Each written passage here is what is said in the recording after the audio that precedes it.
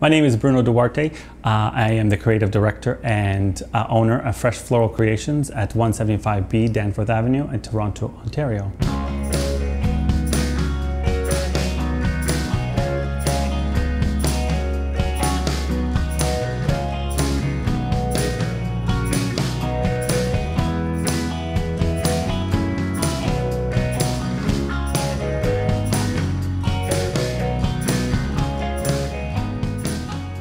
Uh, originally, I started sweeping the floor at a flower shop um, and then realized that I loved the industry uh, and decided to go to school for it. Um, went to Humber College for a year and a half course and then uh, with that did a co-placement uh, and worked with uh, Luc Leclerc, which is uh, another florist in, in, Toronto, and then opened up my own shop five years later.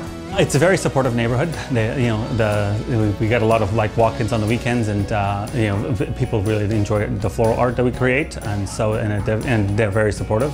The reason why Fresh Florals is as thriving as a uh, retail store as opposed to a studio is because that we, we constantly change our displays. Uh, we did change our window display on a weekly basis. Uh, we ch change up the displays in the store uh, at least uh, four times a year where we change the whole decor of the store. Uh, everything in the store is movable, so therefore it keeps this, it gives us the opportunity to give us give, give different, different feel every time customers come in. So we, we, are constantly evolving, constantly changing and constantly trying new things. Well, we get, we get a lot of the local clients from, from this area, but uh, we tend to do, we do a lot of corporate. Uh, we also do weddings, uh, and but our main thing is corporate. Uh, and we, we go in every week and uh, change up their uh, reception displays.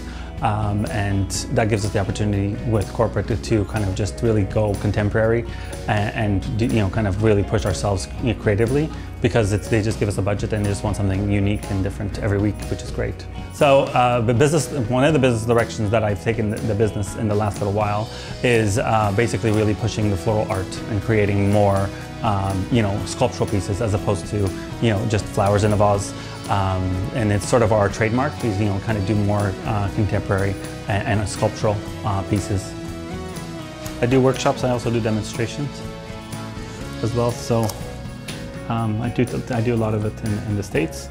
Do um, there's yeah, quite a bit in, uh, with the garden clubs in the States. Yeah, it's and it's fun. Yeah, it's fun to kind of when you do demonstrations to push yourself, seeing what what, uh, what, what new ideas you can come up with. A lot of times you can kind of because you are trying to searching to what else you're going to teach, so they haven't seen something.